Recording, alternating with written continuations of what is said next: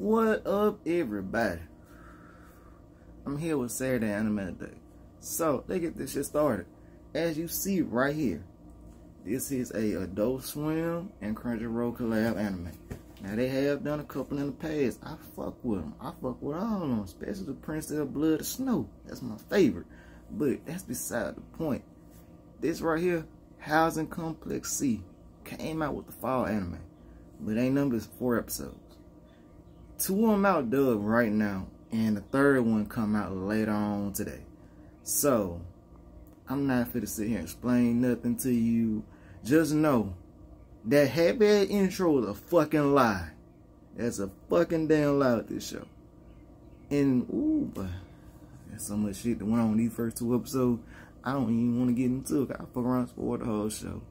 On that note, you can watch it on Crunchyroll, VRV, watch cartoon, non-anime, or where the fuck you watch on anime And enjoy y'all Saturday, everybody.